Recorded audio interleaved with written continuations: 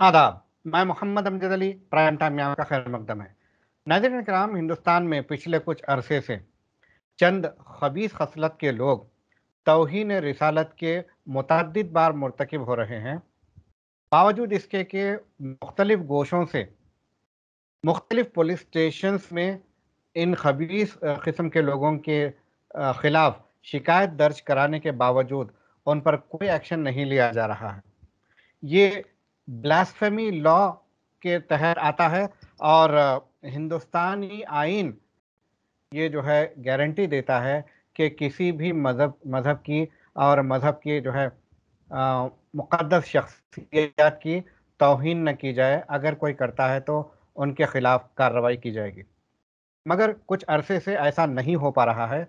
ये संगीत सूरत हाल से कैसे निपटा जाए, इस ताल्लुक़ से हम आज बात करेंगे। हमारे साथ जनाब सैयद ख्वाजा मोइज़ुद्दीन अशरफ़ी साहब मौजूद हैं, जो कि एक ख़तीब हैं बेहतरीन मस्जिद में अरसे दराज से खिताबत का सिलसिला जारी है।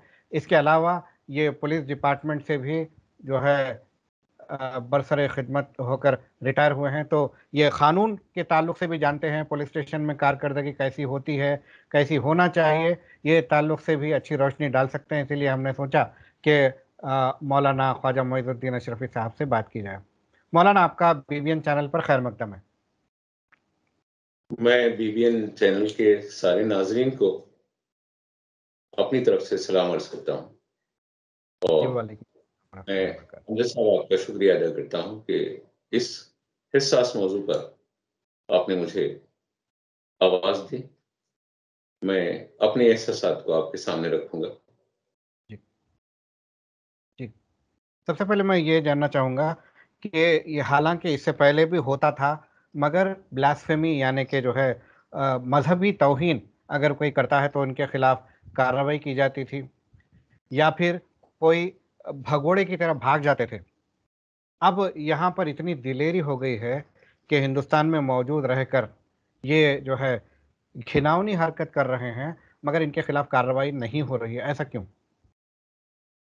अमर साहब बुनियादी बात तो ये है कि किसी भी मज़हब की तोहिन करना ये इंसानी नस्लों में शैतानियत को फैलाना और अमन को दरम बरम करना है चाहे वो किसी भी मज़हब का मानने वाला शख्स हो या कोई लामजहब हम्म। शख्स किसी को इजाज़त नहीं है कि किसी भी मजहबी शख्सियतों की ही नहीं बल्कि आम इंसान की भी तोहन नहीं करे। और तोहन करने पर उसको हमारा दस्तूर कानून सख्त तरीन सजाएँ देता है। और सख्त तरीन सजाएँ हमारे इंडियन पेनल कोड में दर्ज हैं सेक्शन 295 और दीगर सेक्शनों के तहत ऐसे मुजरमीन को सात सात साल की सजाएँ भी दर्ज हैं। बावजूद इसके कि हम मुकदमात को पुलिस तक लेके जा रहे हैं लेकिन पुलिस अपनी दस्तूरी ज़िम्मेदारी पूरी करती हुई नज़र नहीं आ रही क्या वजह है? पुलिस आखिर अपनी ड्यूटी क्यों अंजाम नहीं दे रही है? देखिए पुलिस की ज़िम्मेदारी क्या है वो तो मैं नहीं जानता लेकिन पुलिस की ड्यूटी तो यही है कि जब कोई शिकायत आए तो इन्वेस्टिगेशन करें और उसकी शिकायत के मुताबिक जो हमारा सीआरपीसी यानी प्रोसीजर कोर्ट जो क्रिमिनल प्रोसीजर कोड हमें गाइडलाइन देता है, उसके मुताबिक इंडियन पेनल कोड के सेक्शन की धाराओं को लगाकर एफ़ आई आर इशू करें। हम्म। साहब मैं ये कह रहा था कि पुलिस में हम अपना दर्द और अपनी शिकायत को दर्ज करवा रहे हैं लेकिन पुलिस में जो शिकायतें दर्ज हो रही है उसको ले लिया जा रहा है सिर्फ़ जीडी एंट्री कर दी जा रही है जर्नल डायरी में उसको दर्ज कर लिया जा रहा है और बात जगह तो दर्ज भी नहीं किया जा रहा है हम्म। अवाम को मालूम ही नहीं है कि ये जीडी एंट्री क्या होती है एफआईआर क्या होता है बस अवाम से अवाम को लॉलीपॉप दे दे क्या पुलिस बढ़ा दे रही है कि ठीक है जाओ जाओ हम्म। और इस तरीके से अगर कहीं एफ़ आई आर इशू हो भी रहा है तो जैसे कार्रवाई नहीं हो रही हम्म। इस ताल्लुक से जो हम जिसका नाम ले रहे हैं वसीम रजवी जिसने पहले तो कुरान में से चंद आयतें निकालने की बात की अब तो हुजूर सल्लल्लाहु अलैहि वसल्लम की शान में इंतहाई घटिया तौर पर जो है उसने बयान दिए। उसके बाद जो है हैदराबाद के पुलिस कमिश्नर अंजनी कुमार साहब से भी जो है नुमाइंदगी की गई। अंजनी कुमार साहब ने तयन दिया था। इस पर क्या कार्रवाई हुई? देखिए, बहुत अच्छा सवाल आपने किया है कि इज़्ज़त माप कमिश्नर पुलिस हैदराबाद जनाब अंजनी कुमार साहब से नुमाइंदगी अवाम ही नहीं बल्कि अवाम के नुमाइंदों ने नुमाइंदगी की। जी। आप जानते होंगे कि हमारे रुकने पार्लियामेंट बैरिस्टर असदुद्दीन अवेसी साहब खुद अपने असम्बली के अरकान के साथ और काउंसिल मेंबरों के साथ अंजनी कुमार साहब के पास पहुँचे। लेकिन हमको ये मालूम ही नहीं हुआ कि अंजनी कुमार साहब ने रुकने पार्लियामेंट की उस दरखास्त पर क्या कार्रवाई की? जी। और इतना तो मालूम हुआ कि हमारे नुमाइंदे उन तक जाकर नुमाइंदगी की है। लेकिन अंजनी कुमार साहब उस सिलसिले में कोई प्रेस कॉन्फ्रेंस करके इतने हिस्सास मौजू पर ये नहीं बताया कि उन्होंने क्या कार्रवाई की है।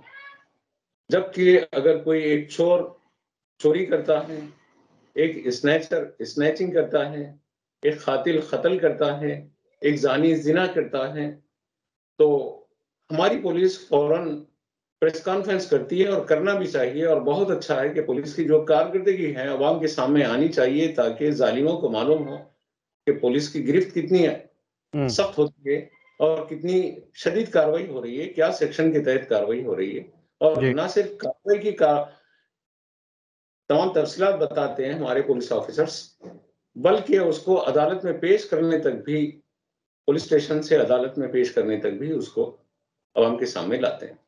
जी। इतना बड़ा जो है जुर्म हो रहा है मुसलमानों के मासूम पैगंबर सईदना मोहम्मद रसूलुल्लाह सल्लल्लाहु अलैहि वसल्लम की शान में गुस्ताखी हो रही है और पुलिस स्टेशन तक अगर अवाम एहतजाज करके वहाँ जाकर दरखास्त देती हैं तो दरखास्तें लेकर फ़ाइल कर दी जाती है या जीडी एंट्री कर दी जाती है। पुलिस स्टेशन से उस दरखास्त पर किस दफे के तहत क्या कार्रवाई हुई कोई बात सामने नहीं आती ना आवाम को आगाह किया जाता है ना दरखास्त गुजार को कोई एक्नॉलेजमेंट दिया जाता है। मैं बताऊँ आपको जी। पिछले चंद महीने पहले पुलिस स्टेशन फलकनुमा में वट्टापल्ली के कुछ नौजवान एहतजाज कर रहे थे नरसिंह आनंद सरस्वती की बदतमीजियों और गुस्ताखियों पर। उन लोगों ने मुझे कहा कि आप एक रिटायर्ड पुलिस ऑफिसर हैं आप चलें और आप चल के दरखास्त दें। मैं उन बच्चों के साथ गया। जाने के बाद में मुझे कोई एक्नॉलेजमेंट दिए बगैर वहाँ से लौटा दिया जा रहा था। मुझे काफ़ी रिक्वेस्ट करनी पड़ी। इसके बाद में इंस्पेक्टर साहब ने एक उनके राइटर ने एक राउंड से लगा के सिर्फ़ दस करके दे दी। आप बताइए कि इतना संगीन जुर्म हो रहा है और ऐसी कैफियत में इजी ले लिया जा रहा है या क्या मजबूरी है? क्यों केसेस दर्ज करके मुलजिमीन को पकड़ के नहीं लाया जा रहा है? हम्म। इतने हमने देखे हैं खबरें वसूल हुई कि कई लोग मुख्तलिफ़ पुलिस स्टेशन में जाकर दरख्वास्त दी है। वो सिर्फ़ जो है इंस्पेक्टर या सब इंस्पेक्टर के साथ फ़ोटो लेकर जो है पब्लिश हो जा रही है। तो क्या एक भी पुलिस स्टेशन में एफआईआर दर्ज नहीं हुई? सब मैं तो नहीं जानता। मेरे सामने नहीं है कि दर्ज या कोई एफ़ का हवाला। और खुद हमारे मोजिस रुकने पार्लियामेंट, मोहतरम बैरिस्टर असदुद्दीन अवैसी साहब की दरखास्त पर भी कोई एफआईआर का नंबर मेरे सामने तो नहीं आया। हम्म। हाँ मेरे रुकने पार्लियामेंट ने इंतहाई अहम तरीन सेक्शंस के तहत वो जो ऑफेंस था तोहन मुस्तफ़ा सल्लल्लाहु अलैहि वसल्लम का उसमें मुजरिम को उसके चौकट्टे में खड़ा करने के लिए वो सेक्शंस तक दर्ज करके दिया उन्होंने क्योंकि बैरिस्टर हैं वो। लेकिन कमाल ये है कि उस पर क्या एफ़ आई आर इशू हुई और एफआईआर का नंबर क्या है? किस पुलिस स्टेशन के तहत एफ़ एफआईआर इशू हुई? वो भी हम्म। हमें आज तक इल्म में नहीं है। हम्म। तो बैरिस्टर साहब की नुमाइंदगी पर भी इस तरीके से बात सामने नहीं आई। मैं सीपी साहब से रिक्वेस्ट करना चाहता हूँ कि आप कम से कम वो क्या एफ़ एफआईआर इशू हुई और किस पुलिस स्टेशन के तहत एफ़ एफआईआर इशू हुई वो बताएँ। और एफ़ एफआईआर इशू होने तक ही अमजद साहब हमारी कार्रवाई का या हमारी दरखास्त का या हमारे जो है गुस्से का या हमारे गम का मुदावा नहीं होता है। हम्म। कि मुलजिम को पकड़कर हम्म। अदालत के सामने पेश करना है। और ये क्यों नहीं किया जा रहा है? अगर हमारी दरखास्तों पर मुलजिम गिरफ़्तार नहीं होते हैं तो हमको फर्दर कार्रवाई के लिए आगे बढ़ना चाहिए। क्या चाराजोई कर सकते हैं अगर पुलिस अपनी ड्यूटी अंजाम नहीं दे रही है? तो नेक्स्ट ऑप्शन क्या बनता है? आपने बहुत अहम तरीन सवाल किया, सारे हिंदुस्तानी मुसलमानों से ही नहीं बल्कि सारे मजाहिब के मानने वालों से मेरी इल्तजा है कि किसी भी मज़हब की तोहन करने वाला कोई भी शख्स अगर अमन को दरम बरम कर रहा है और पुलिस में दरखास्त देने के बाद में भी अगर कोई उस पर कार्रवाई नहीं होती है तो हम सबकी ज़िम्मेदारी है, किसी भी मज़हब के मानने वाले हो, किसी भी मज़हब के मजहबी पेशवा की तोहिन हो रही हो तो हम जो है अगर पुलिस उस पर सुटेबल कार्रवाई नहीं करती है या एफआईआर इशू करके सिर्फ़ खामोश हो जाती है तो वो सारे एफआईआर को वो सारे दरखास्तों को जिन जिन पुलिस स्टेशनों में पुलिस स्टेशन में दर्ज किया गया है हम अपने हाईकोर्ट के सामने रखें। जी। अपने कोर्ट के सामने रखें अदलिया के सामने और अदालत से इल्तजा करें मोजिज जजों से इल्तजा करें कि खुदारा अमन को धर्म बरम होने से पहले पुलिस महकमे को आप ऑर्डर दीजिए कि ये अपनी ड्यूटी को अंजाम दें। हम्म। हम ये काम कर सकते हैं। ठीक है। इसके अलावा अगर आ, ये बात कोर्ट तक ना जाए मगर मामला सुलझ जाए क्या हम चीफ मिनिस्टर से इस ताल्लुक से नुमाइंदगी कर सकते हैं? देखिए चीफ मिनिस्टर साहब तो हमारे अपने वोटों के ज़रिए असम्बली में अपनी ताकत रखते हैं। हम्म। और वो हमारे खास नुमाइंदे होते हैं। अगर चीफ मिनिस्टर साहब अपना दस्तूरी इख्तियार और अपने दस्तूरी जो पावर है उसको यूज़ करें तो बहुत बेहतर है। अमन को किसी तरीके से भी दरम बरहम होने नहीं देना चाहिए हरगिज नहीं होना दे, देना चाहिए कि अमन सबसे बड़ी और कीमती चीज़ है। और कहीं ऐसी चीज़ों को सहारा लेकर कोई खुदा न खास्ता अमन दरम बरम ना करें और अमन को दरम बरम करने वालों को मौका फराम नहीं होना चाहिए, नहीं देना चाहिए। हम अपने मोजिस चीफ मिनिस्टर साहब से, अपने अरकान पार्लियामेंट से, अपने अरकान असम्बली से, इन लोगों से रिक्वेस्ट कर सकते हैं और नुमाइंदगी करने के लिए हमारे मोजिस और मोजिस वकला बिला मज़हब तफरीत किसी मसलक के मज़हब के हम जो हैं अमन को कायम रखने के लिए जो कुछ अपनी ज़िम्मेदारी हो सकती है जहाँ जहाँ नुमाइंदगी हो सकती है करें हम। जी जी। इसके अलावा कराम की और मशाक़ी निज़ाम की क्या ज़िम्मेदारी बनती है ऐसी सूरत हाल में? देखिए कराम की मशाक़ी निज़ाम की ये ज़िम्मेदारी बनती है कि अपनी कौम को मॉनिटर करें। नामों से मुस्तफ़ा सल्लल्लाहु अलैहि वसल्लम की गैरत का लिहाज दिलाएँ और उनको बताएँ कि अल्लाह के रसूल सल्लल्लाहु अलैहि वसल्लम की अजमत का पास लिहाज करें। अलावा इसके हम न सिर्फ़ अपने मज़हब की नामोस और इज़्ज़त के पास लिहाज की तालीम तो देना ही है उसके साथ साथ अपनाए वतन में। और हम कैसे जिए और दूसरे मजाहब की कैसी ताज़ीम और इज़्ज़त करें ये भी हमारे उलमा की अपनी जिम्मेदारियों में से हैं अपनी उनकी ड्यूटियों में से हैं। वो ना सिर्फ़ मुसलमानों को ही नहीं बल्कि सारी इंसानियत को बताएँ कि इंसानियत का दर्स लोगों के अदब व एहतराम में है। इज़्ज़त देंगे तो ही इज़्ज़त मिलेगी। हम्म। यही इज़्ज़त का उसूल है। तो क्या उलमा ये अपनी ड्यूटी अंजाम दे रहे हैं या फिर सिर्फ़ नमाज़ और अहकाम की हद तक है? तो अमित साहब ये बहुत बड़ा सवाल है और मेरी औकात नहीं है कि इतना बड़ा जवाब दूँ। उलमा अपनी जिम्मेदारियाँ तो अदा कर रहे हैं। लेकिन जो जिम्मेदारियाँ सिर्फ़ मेरी ज़ुबान से आपके कान तक और आपकी आपके कान से मेरी ज़ुबान तक रह जाए तो वो ज़िम्मेदारी नहीं होती है हम्म। ज़िम्मेदारी के लिए बेदारी ही लाना है ज़िम्मेदारी के लिए हमको खानखाओं से दरसगाहों से अपनी इबादत गाहों से बाहर आकर हम जिनको दस्तूरी तौर पर मुंतखब किए हैं उन तक जाके इल्तजाएँ भी करना है बताना भी है दरख्वास्तें भी देना है और उन दरख्वास्तों को फिर हम फॉलो करना है कि उस दरख्वास्त पर कार्रवाई क्या हुई है? सिर्फ़ दरखास्त दे देना ही काफ़ी नहीं है। जी। ये उलमा की भी ज़िम्मेदारी है और मेरी कौम के सारे दानश्वरों की ज़िम्मेदारी है। जी। इसके अलावा मिलत की काफ़ी तंजीमें हैं। क्या वो तंजीमें अपना रोल अदा कर रही हैं? देखिए अमजद साहब हर तंजीम अपने दायरे में कुछ ना कुछ बेहतर काम कर रही है अच्छा काम कर रही है। लेकिन उन तंजीमों से भी मैं इल्तमास करता हूँ कि खुदारा कि नमाज़ जनाजा तो पढ़ा नहीं है हम्म। हो जाएगी नमाज़। नम पाँच वक्त की अजान तो मौजन दे देगा कोई आओ या ना हो। अजान तो मौजन के काम है। सब बंदी मुख्तियों का और इमामत करना इमाम का काम है। सिर्फ़ इसी तक दीन महदूद नहीं है। हम्म।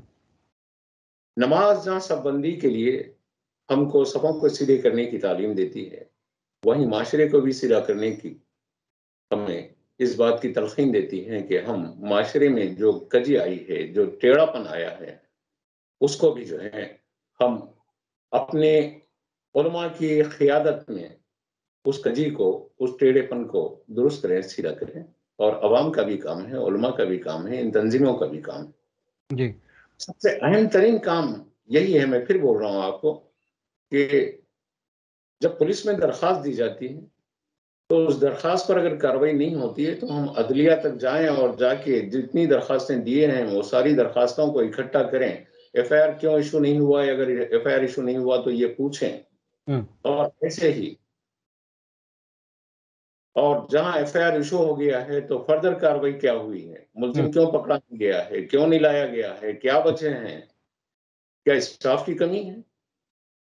क्या कोई ऐसा मामला है कि मुलजिम जो है खुदा न खास्ता कानून से कोई बड़ा हो गया है हम्म। दस्तूर से बड़ा हो गया है जहाँ तक हमारी पहुँच नहीं है मुलजिम जो है हमारे मुल्क से बाहर भी हैं तो हमको इख्तियार हैं दस्तूर के दायरे में जाके पकड़ के लाए तो जो मुलजिमिन हमारे मुल्क में मौजूद हैं हम्म। और हम उनको नहीं पकड़ेंगे तो नतीजा ये होगा कि खुदा न खास्ता अमन दरम बरम होने का खौफ होगा हम्म। और इलेक्शनों के करीब में बाज लोग इस तरीके की दानिस्ता तौर पर मुहिम चलाते हैं। हमारे मुक़दस नबी, मासूम नबी वसल्लम, जो सारी इंसानियत के नबी हैं, उनकी शान में बेअदबी होती है और ये बेअदबियों से ये लोग वोट को मुंतशिर करके या लोगों में तफरक़े पैदा करके, ग्रुपिज्म तैयार करके ये लोग दस्तूर की खिलाफ वर्जी, कानून की खिलाफ वर्जी कर रहे हैं। कत्ल से ज़्यादा शदीद तरीन जुर्म है जी। कुरान तो बोल रहा है कि फितना जो है कत्ल से भी ज़्यादा शदीद और ये कत्ल से गारतगिरियों की से भी ज़्यादा शदीद तरीन जुर्म को लोगों में परवरिश पा, पाने का मौका दे रहे हैं।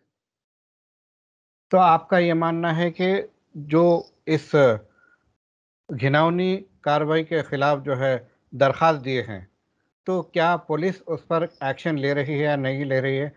क्या इस ताल्लुक से फॉलोअप एक्शन करना चाहिए?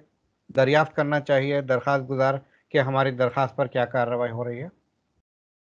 अमजद साहब देखिए दरख्वास्त गुजार बहुत कमज़ोर हैं। जो लोग अवाम में जा रहे हैं वो पुलिस की वर्दी को ही देख के खौफजदा हो जाते हैं। हम्म। हालाँकि खौफजदा तो मुजरिम को होना चाहिए। हम्म, लेकिन इन हालात में खौफजदा अवाम हो रही है। और अगर आवाम खौफ ज़दा हो रही है तो मेरी कौम के दानिशवरों से मैं इल्तमास करता हूँ, अपील करता हूँ, आजिजी करता हूँ। इनके सारी से मैं हूँ। उनसे मिन्नत तो समाजत करता हूँ कि खुदारा आप मेरी कौम को हाथ में पत्थर उठाने से रोकिए और कहीं गैर कानूनी काम करने की तरफ़ उनको कोई उकसा ना दें। बेहतर यह है कि इन दरखास्तों को जो जो हुआ है अभी तक, कोई एक पैनल बनाया जाए और उसके बाद फ़ौरन हम हाई कोर्ट से रुजू हों कि इन दरखास्तों पर कार्रवाई क्यों नहीं हुई? मैं बार बार यही इसरार कर रहा हूँ आपसे।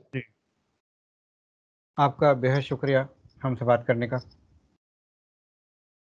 शुक्रिया जजाकमुल्ला तो नाजरीन ये थे मौलाना सैयद ख्वाजा मोइजुद्दीन अशरफी साहब जिन्होंने ये जो ब्लास्फेमस गुनाह है जो कर रहे हैं जो जुर्म कर रहे हैं लोग इनके ख़िलाफ़ एक तो वसीम रिजवी है और फिर हैदराबाद में एक और शायर पैदा हुआ है आगा सरोज जिसने उमुलमिन आयशा सिद्दीक़ा रज़ी तहा और खुलफ़ा राशिदीन के शान में जो है गुस्ताखी की है, तोहन की है। तो ऐसे लोगों के ख़िलाफ़ जो कार्रवाई नहीं हो रही है तो फॉलोअप एक्शन होना चाहिए। ओलमा अपनी ज़िम्मेदारी संभाले, सियासी कायदीन अपनी ज़िम्मेदारी संभाले। अगर पुलिस कार्रवाई नहीं करती है तो कोर्ट से रुजू हों। एक और अल्टरनेटिव ये है कि चीफ मिनिस्टर जिनको हम सबने वोट देकर जिताया है और अपना जो है रहनुमा जो है, मुंतखब किया है तो चीफ मिनिस्टर को भी नुमाइंदगी करें ताकि इस किस्म के जो घिनौनी हरकतें हैं, इसका फ़ौर रोकथाम हो। अगर रोकथाम नहीं होती है तो फिर अदालत आखिरी रास्ता है। और एक अहम जो है सुझाव इन्होंने ये दिया है कि ये सारे जो है, तंजीमें एक पैनल बनाए, पैनल बनाकर मुतहद होकर इसके जो है ख़िलाफ़ मुहिम चलाए, तभी जाकर कार्रवाई मुमकिन हो पाएगी। अब देखना यह है कि कमिश्नर अंजनी कुमार साहब क्या करते हैं और चीफ मिनिस्टर साहब इसका क्या नोट लेते हैं, या फिर अगर ये अपनी ड्यूटी नहीं निभाते हैं तो अदलिया सो मोटो केस भी ले सकता है। नहीं लेता है तो फिर पैनल को कोर्ट से रुजू होना है। आगे आगे देखते हैं इसके खिलाफ क्या होता है। हमें दीजिए इजाज़त।